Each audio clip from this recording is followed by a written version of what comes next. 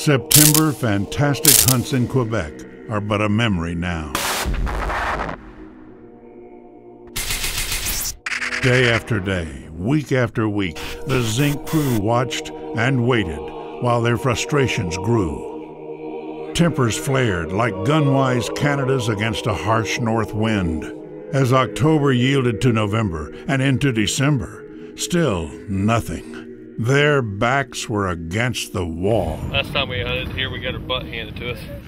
Geese one, hunter zero. They'd been forced into a corner from which there seemed no escape. They'd been driven to the breaking point.